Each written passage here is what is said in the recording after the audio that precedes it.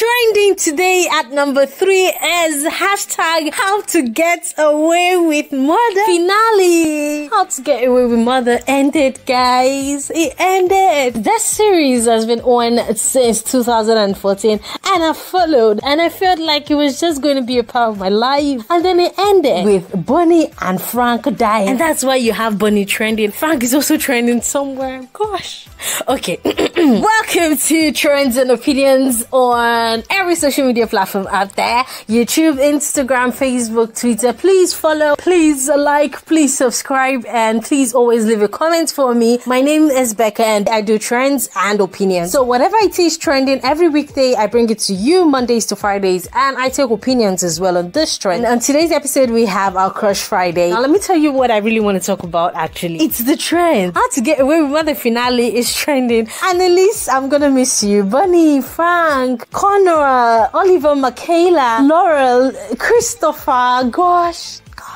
Okay, let's check it out. Let's see what people are saying. Annalise appreciation tweet: How to get away with murder has finally come to an end. Retweet if you think Viola Davis Annalise gave us a world class performance. She did, and I'm retweeting. Let's give a round of applause for Bonnie and Clyde, ladies and gentlemen. Trust me, if you haven't seen this, you should. It's not just about the boys, but it's truly amazing in every sense of the word. Okay, um, that's that. Mr. Biggs is trending at number one, and Will Smith is trending at number two for his verse on Will Tribute Remix, so you can always check it out. Made in Lagos at number 8 because of Wizkid's album. Jeff Bezos is also trending, and that's because news has it that man is about becoming the trillionaire. And Siolomo at number 11 uh, for an interview. At number 14, Dokpesi is trending, and that's because Raymond Dokpesi Jr. has actually recovered from coronavirus and also said he doesn't see any difference between corona and malaria. He raised up a conversation down there, but let's talk about Mr. Biggs. Dr. Pam Pam says Mr. Biggs meets fire every Sunday after church. This should have happened yesterday during Throwback episode, guys. That year, Mr. Biggs was a reward for becoming first in class or doing well in school. Having a taste of their meat pie or donuts was enough motivation to do well in school. How the F they collab should be taught in economics. My first date happened at Mr. Biggs Festac. We ordered for tasty fiesta, meat pies, and the best scotch egg in the whole world. We grabbed some takeaway, but mine never made it home. I threw mine away because my mom would be like, "We sit next a boy, you can get pregnant." I have my own Mr. Big story, but I'm actually interested in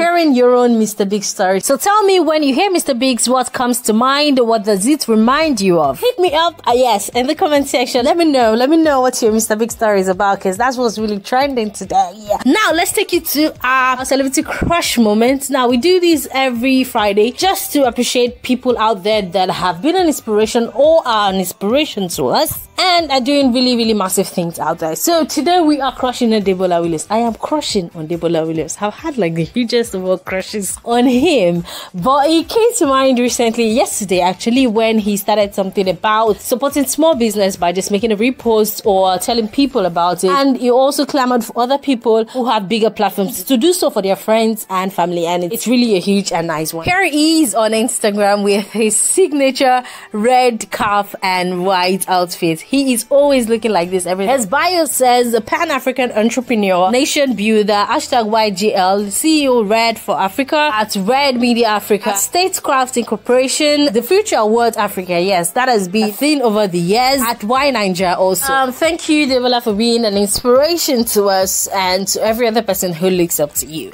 That's all in today's episode and on the episodes for the week. Yes, it has been an exciting week and you can catch up on all of our episodes on our YouTube channel, on Instagram and Facebook at Trends and Opinions and on Twitter at Trends underscore Opinions. My name is Becca and it's always my pleasure to be here. Have a fantastic weekend, guys. Au revoir.